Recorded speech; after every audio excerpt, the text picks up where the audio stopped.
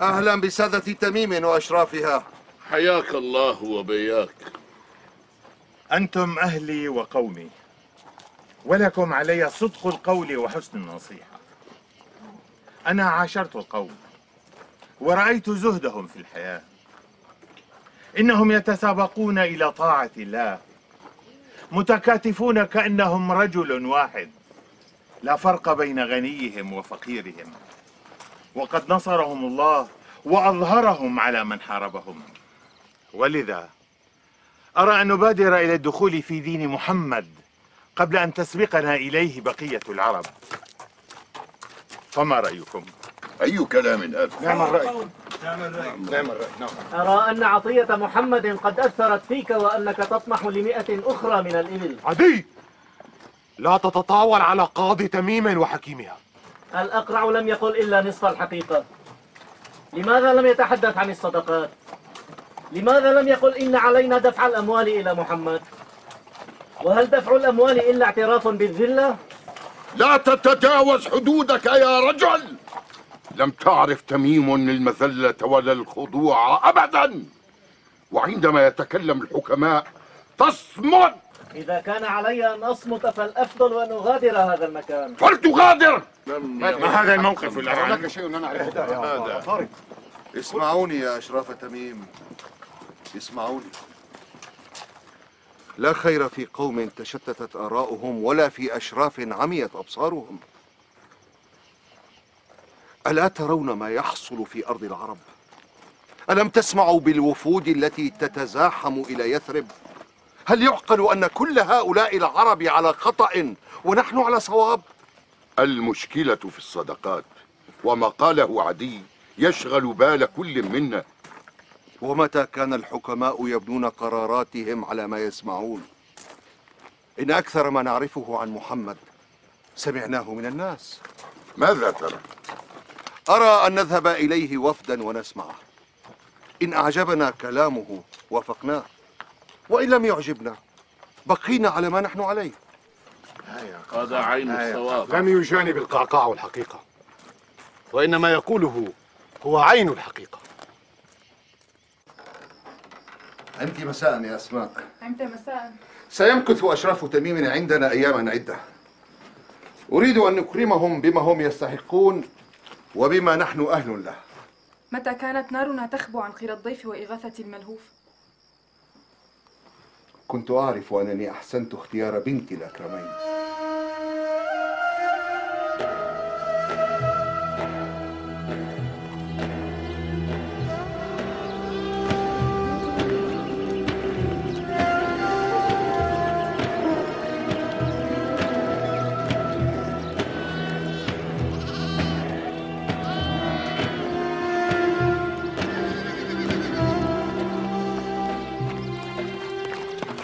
وصلنا هذه ديار خزاعة يبدو أن بني العنبر من تميم حلوا في جوار الديار.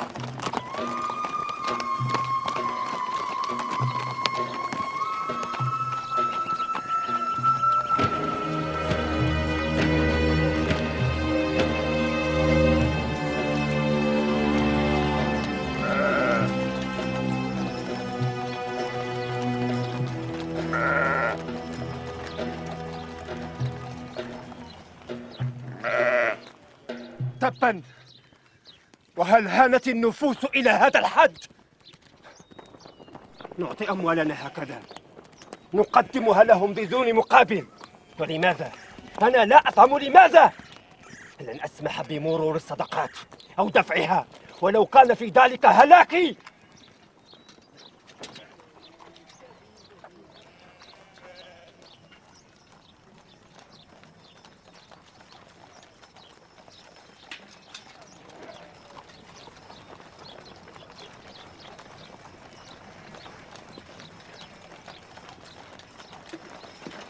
الذي تفعله؟ نجبي صدقات خزاعة. وتحملها لمحمد. تؤخذ أموالكم منكم بالباطل. نحن خزاعيون ندين بدين الإسلام. وهذا من ديننا. والله لا يصل إلى بعر منها أبدا. اغمدوا سيوفكم أيها القوم. اغمدوا سيوفكم.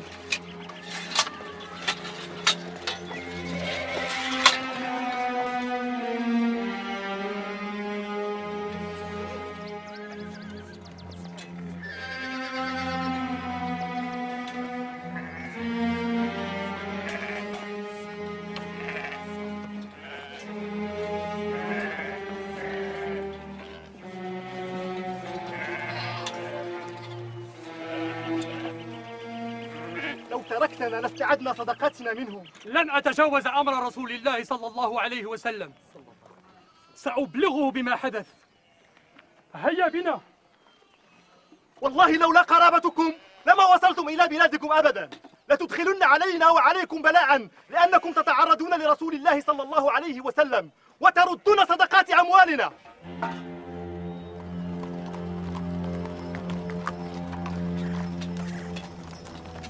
لم يسكت محمد على ما فعلناه. وبنو خزاعة سيخرجوننا من محلنا. علينا الرحيل. ليجهز كل منا راحلته ونساءنا وأولادنا. نأخذهم معنا. هيا! تجهزي بسرعة للرحيل يا مرأة أنت والأولاد حالا. لماذا؟ الخزاعيون سيخرجوننا من محلنا ورجال محمد سيلاحقون أثرنا. ماذا فعل؟ ستعرفين لاحقا. لن أترك دياري وأرحل إن كنت خائفا فارحل وحدك. بل سترحلين معي. هيا! هيا!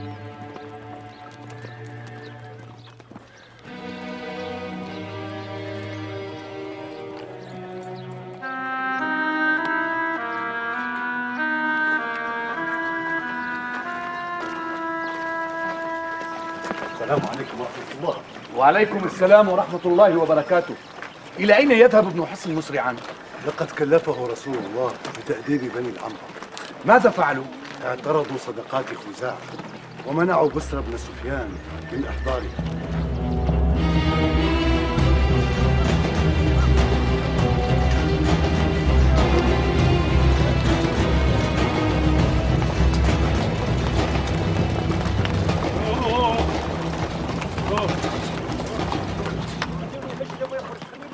من أنتم؟ السلام عليكم ورحمة الله وبركاته عليك السلام ورحمة الله تعالى وبركاته أين بنو العنبر؟ خرجوا من محلهم والله لن يعودوا إليها أبدا وأين اتجهوا؟ من هذا الاتجاه هيا بنا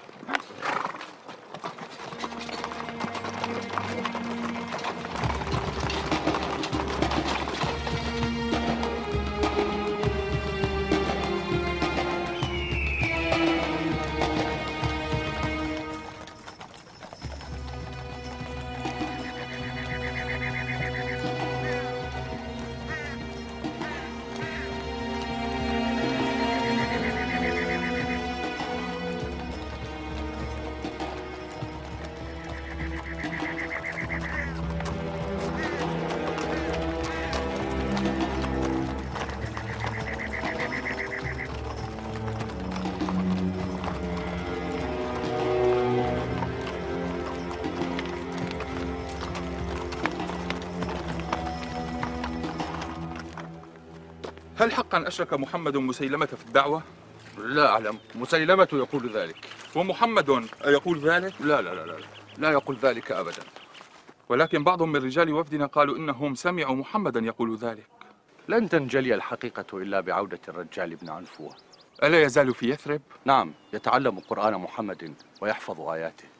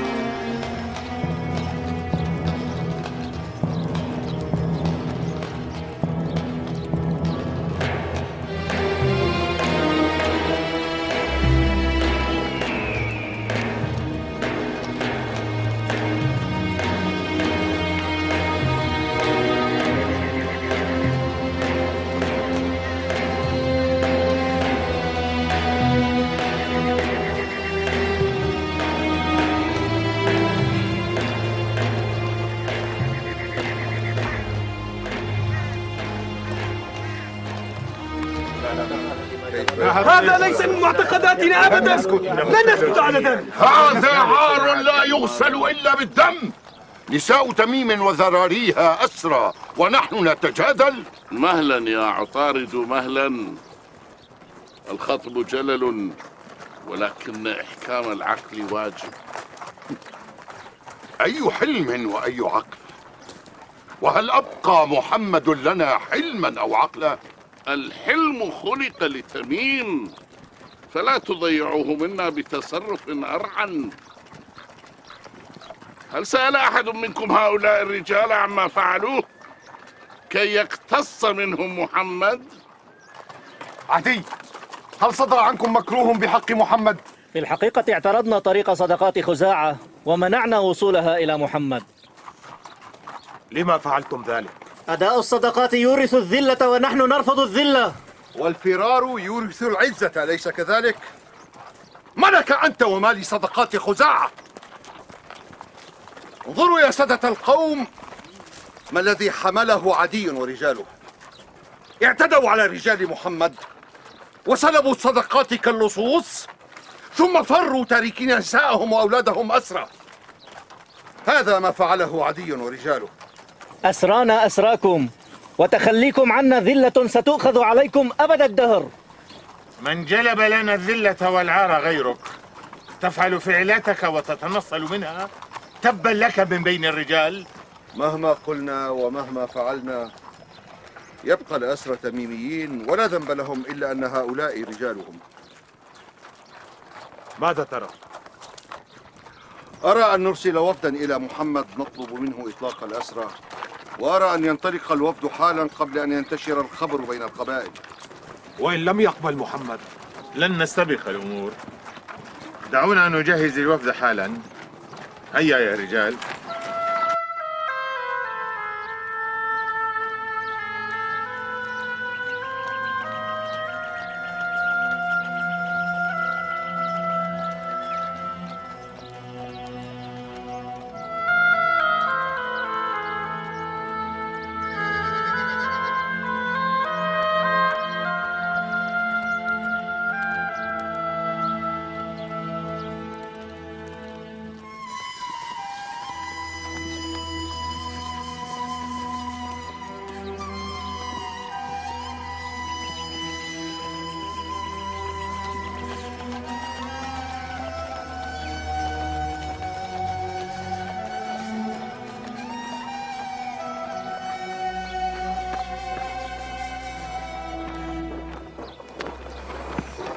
هل أحضرت الأسرى إلى دار رملة بنت الحارث؟ نعم وجئت لأنقل إليهم الطعام والشراب جزاك الله خيرا يا أبا موهبة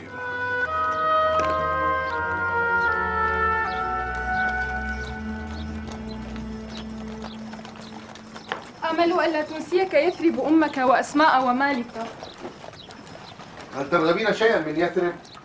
وهل تسأل النساء مثل هذا السؤال؟ يثرب مشهورة بحليها وزوجي يعرف بالجود سيكون لك ما تشتهين يا أسماء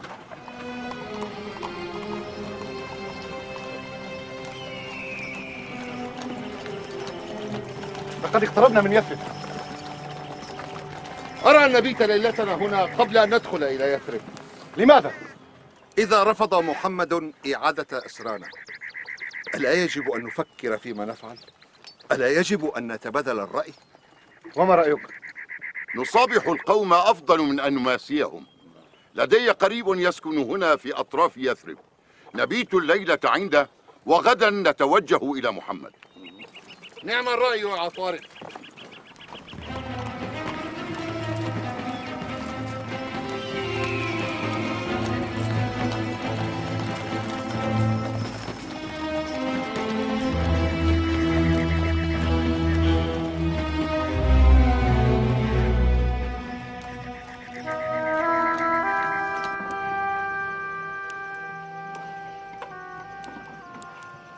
هذه كسوة أرسلها رسول الله إليكن. هي ثياب المنعقد من صنع اليمن. لنا نحن؟ نعم. ولماذا؟ لقد كسى قبلكن سبايا حنين. أرسل بسرى بن سفيان إلى مكة واشترى ثيابا لكل الأسرى أتردن شيئا آخر؟ لا شكرا. هل لي بسؤال؟ من أي العرب أنت؟ أنا مسلمة. ألا يكفي؟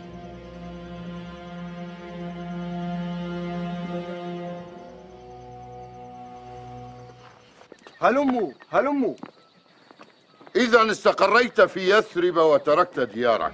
نعم. أسعى أن أكون قريبا من رسول الله صلى الله عليه وسلم. يقولون إن محمدا يجزل العطاء. من يطلب الدنيا يسأل عن العطاء ومن يطلب الآخرة يسأل عن حدود الله وماذا يفعل محمد بالصدقات؟ هي للفقراء والمساكين وأبناء السبيل هل تشعر بالوحدة هنا وأنت بعيد عن أهلك؟ المؤمنون إخوة كالبنيان المرصوص يشد بعضه بعضا وهم كالجسد الواحد إذا اشتكى منه عضو تداعت له سائر الأعضاء بالسهر والحمى فهل يشكو العضو من الوحدة؟ ألا تشعرون بالذلة وأنتم تدفعون الصدقات إلى محمد صاغرين؟ الصدقات لله وهي حق الفقراء علينا ندفعها من أموالنا ليبارك لنا بها والذلة لله عز لأن من تواضع لله رفعه وهل يدفعها ساداتكم وأشرافكم؟ لا سادة لنا ولا أشراف. نحن جسد واحد. عجبا لكم. بعنا لله أرواحنا. وأنتم تسألون عن صدقاتنا؟ سترون غدا صدق كلامي عندما تقابلون رسول الله صلى الله عليه وسلم. وهل سيحمل محمد نساء وأطفال بني العنبر ذنب ما اقترفه رجالهم؟ ولا تزر وازرة وزر أخرى. هذا كلام الله وليس بعد كلام الله.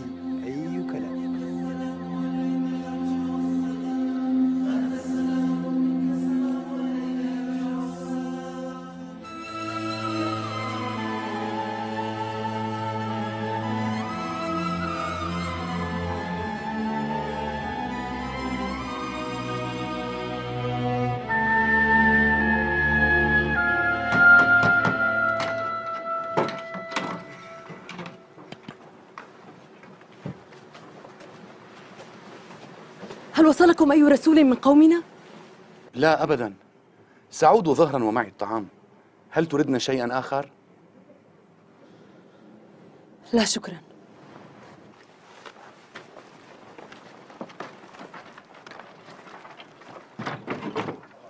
لن آلف حياة السبي ما حييت.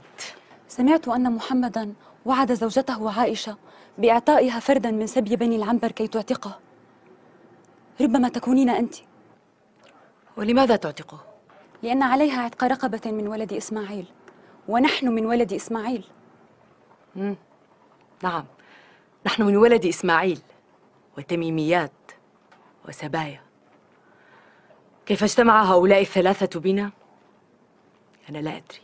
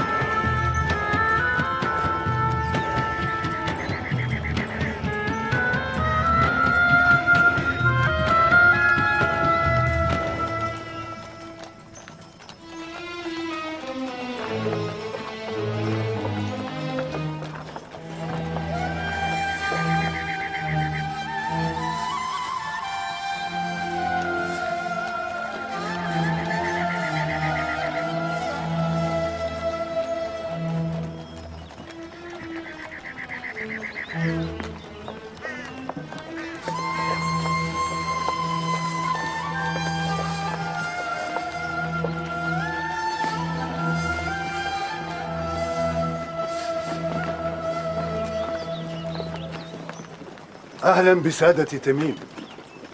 كيف عرفتنا؟ من الأقرع بن حابس. لقد التقيته في وقعة حنين. أين أسرانا؟ اطمئني إنهم في دار رملة بنت الحارث. لم يمسسهم سوء. أريد رؤيتهم. حسنا.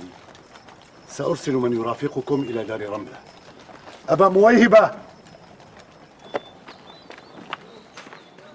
خذهم إلى دار رملة بنت الحارث حمدا لله على السلامة.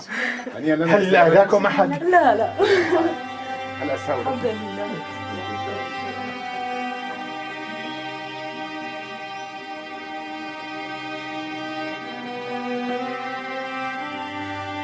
بسم الله الرحمن الرحيم. الحمد لله رب العالمين. الرحمن الرحيم. مالك يوم الدين. إياك نعبد وإياك نستعين. اهدنا الصراط المستقيم. صراط الذين أنعمت عليهم. غير المغضوب عليهم ولا الضالين. بسم الله الرحمن الرحيم. الحمد لله رب العالمين. الرحمن الرحيم. وإن كنتم في ريب مما نزلنا على عبدنا فأتوا بسورة من مثله وادعوا شهداءكم من دون الله إن كنتم صادقين. فإن لم تفعلوا ولن تفعلوا فاتقوا النار التي وقودها الناس والحجارة أعدت للكافرين. وبشر الذين آمنوا وعملوا الصالحات أن لهم جنات تجري من تحتها الأنهار. وإن كنتم في ريب مما نزلنا على عبدنا فأتوا بسورة من مثله. وادعوا شهداءكم من دون الله إن كنتم صادقين.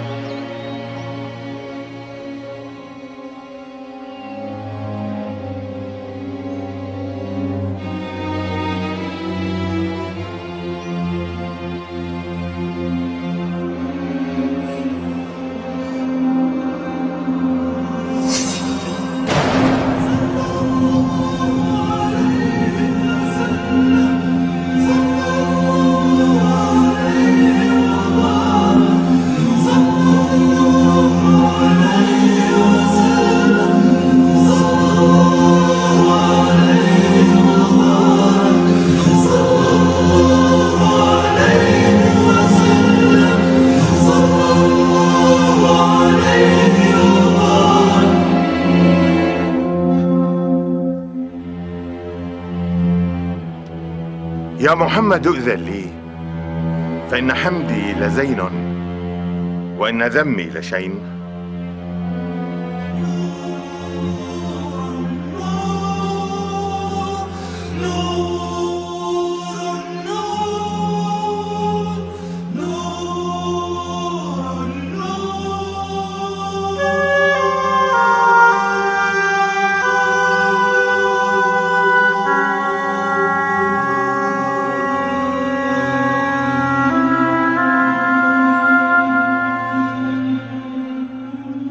يقول رسول الله كذبت. ذلك الله تبارك وتعالى.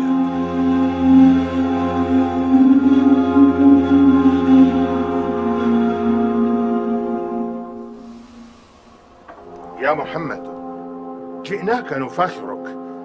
فأذن لشاعرنا. نحن الكرام فلا حي يعادلنا. منا الملوك وفينا تنصب البيع. وكم قصرنا من الأحياء كلهم. عند النهاب وفضل العز يتبع. ونحن يطعم عند القحط مطعمنا. من الشواء إذا لم يؤنس القزع. بما ترى الناس تأتينا سراتهم. من كل أرض هوانا ثم متبع. فننحر الكوم عبطا في أرمتنا للنازلين إذا ما أنزل الشيع. فلا ترانا إلى حي نفاخرهم. إلا استفادوا. وكانوا الرأس يقتطع. فمن يفاخرنا في ذاك نوفده فيرجع القوم والأخبار تستمع. إنا أبينا وما يأبى لنا أحد. إنا كذلك عند الفخر نرتفع. إن الذوائب من فهر وإخوتهم قد بينوا سنة للناس تتبع. يرضى بها كل من كانت سريرته. تقوى الإله وكل الخير يصطنع. قوم إذا حارسوا ضروا عدوهم أو حاولوا النفع في أشياعهم نفعوا. سجية تلك منهم غير محدثة. إن الخلائق فاعلم شرها البدع. إن كان في الناس سباقون بعدهم فكل سبق لأدنى سبقهم تبع. أكرم بقوم رسول الله شيعتهم. إذا تفاوتت الأهواء والشيع أهدى لهم مدحة قلب يوازره فيما أحب لسان حائك صنعوا. فإنهم أفضل الأحياء كلهم. إن جد بالناس جد القول أو شمعوا. صدقت يا حسان بن ثابت. في أبي إن هذا الرجل لمؤتلى لشاعره أشعر من شاعرنا وأصواتهم أعلى من أصواتنا. أشهد أن لا إله إلا الله. وأشهد أن محمدا رسول الله. أشهد أن لا إله إلا الله. وأشهد أن محمدا رسول الله. أشهد أن لا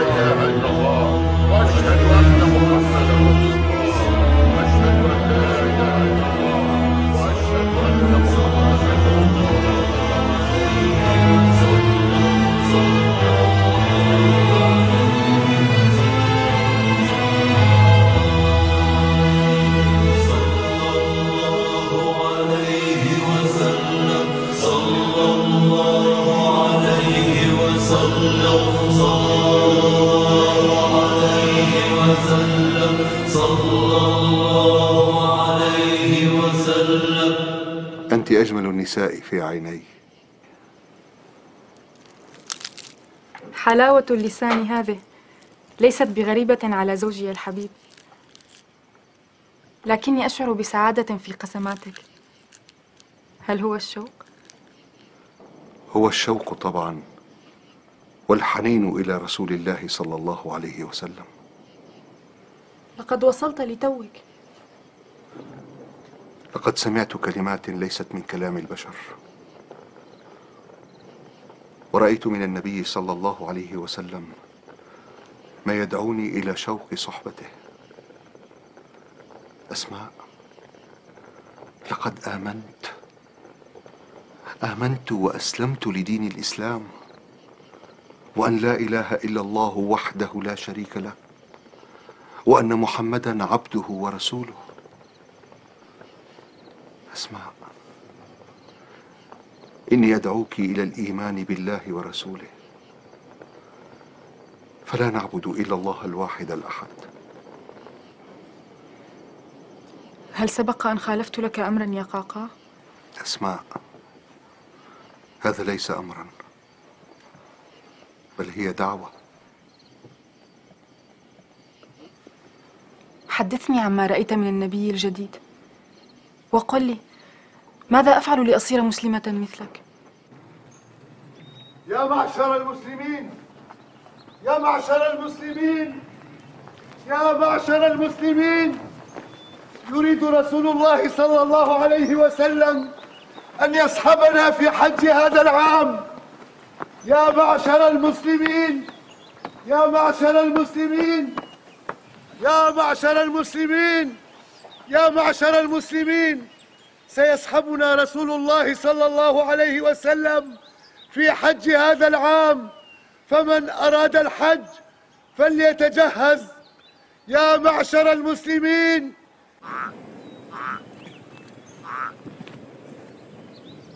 لا كف يدك. لماذا؟ إنها تسبح خالقها. وقد جعلها الله لكم آية. كيف؟ قال ربنا يا ضفدع بنت ضفدعين نقي ما تنقي. أعلاك في الماء وأسفلك في الطين. لا الشارب تمنعين ولا الماء تعكرين.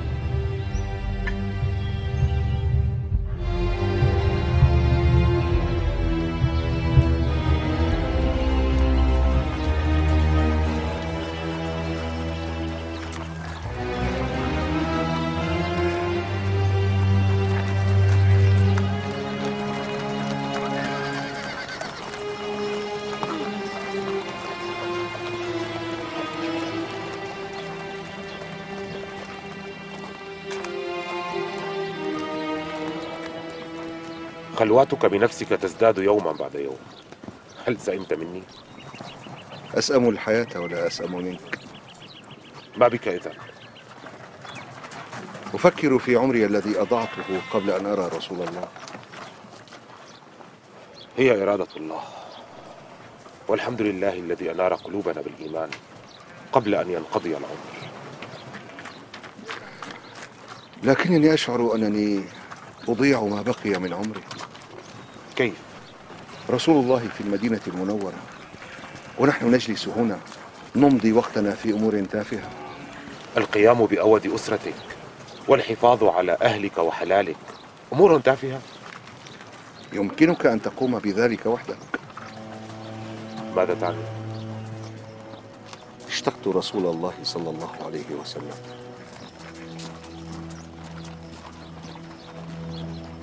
سأسافر إليه.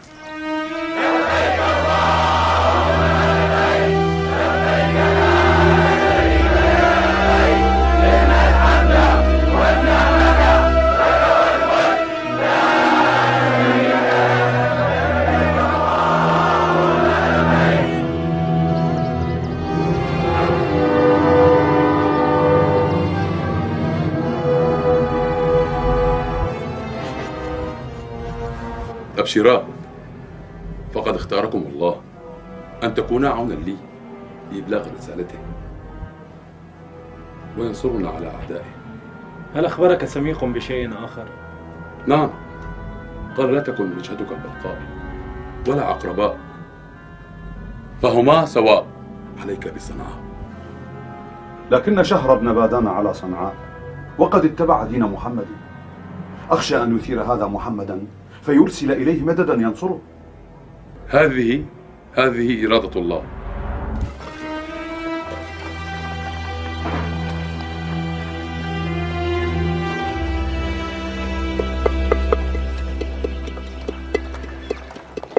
وقضى ربك ألا تعبدوا إلا إياه وبالوالدين إحسانا.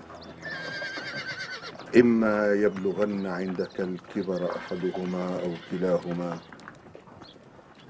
فلا تقل لهما أف ولا تنهرهما وقل لهما قولا كريما واخفض لهما جناح الذل من الرحمة وقل رب ارحمهما كما ربياني صغيرا. سأخرج لبعض الوقت. اعتني بأمك.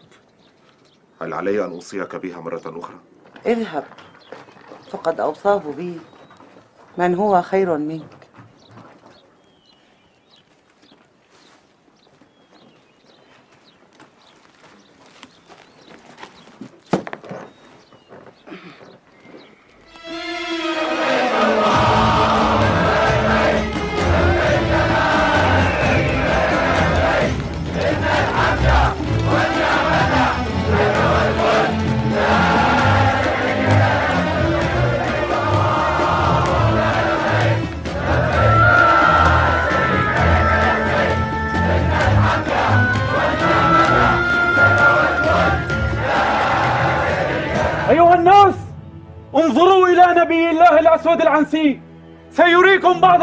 ذاته.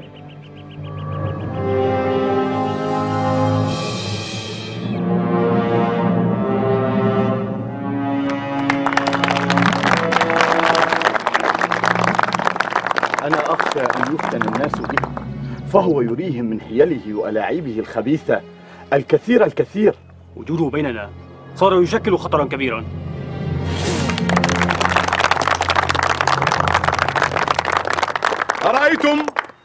يستطيع إضرام النار بنفخة واحدة من فمه. أيها الناس يقول لكم رسول الله صلى الله عليه وسلم صلى الله عليه وسلم اسمعوا قولي. فإني لا أدري لعلي لا ألقاكم بعد عامي هذا بهذا الموقف أبدا. أيها الناس إن دماءكم وأموالكم عليكم حرام. إلى أن تلقوا ربكم. كحرمة يومكم هذا وكحرمة شهركم هذا. وإنكم ستلقون ربكم فيسألكم عن أعمالكم. وقد بلغت فمن كانت عنده أمانة فليؤدها إلى من ائتمنه عليها. وإن كل ربا موضوع. ولكن لكم رؤوس أموالكم. لا تظلمون ولا تظلمون. أيها الناس يقول رسول الله صلى الله عليه وسلم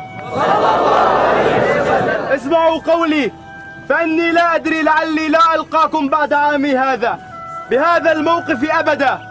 أيها الناس إن دماءكم وأموالكم عليكم حرام.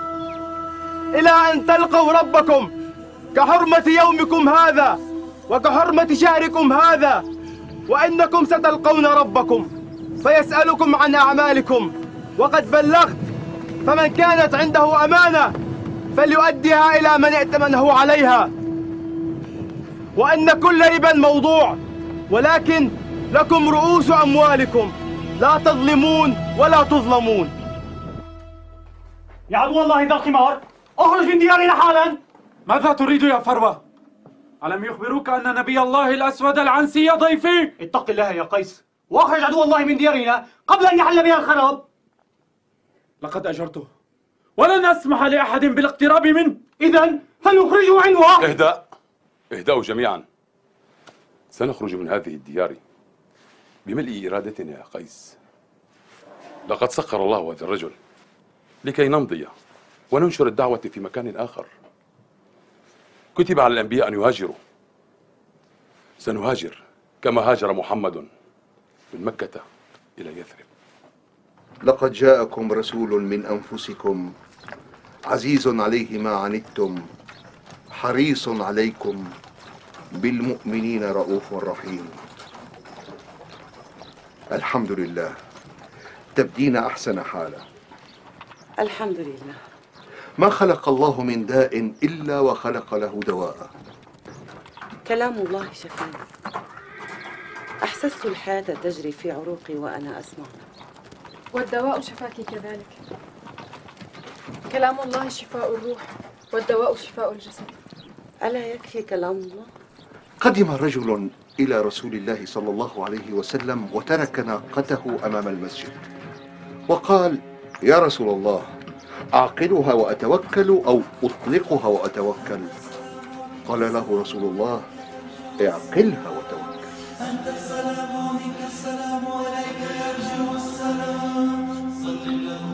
تضرع رسول الله صلى الله عليه وسلم إلى الله قائلا لا إله إلا الله وحده لا شريك له له الملك وله الحمد وهو على كل شيء قدير.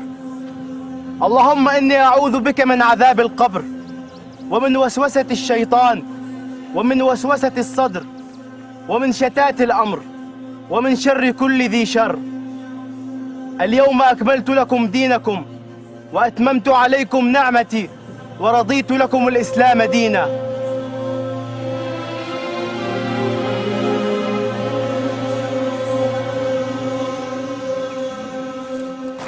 لماذا بكى الفاروق يا أبا هريرة؟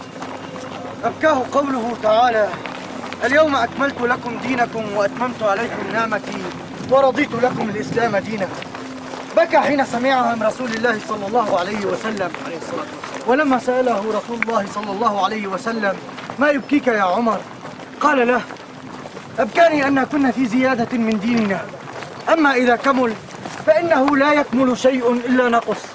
فقال له رسول الله صلى الله عليه وسلم صدقت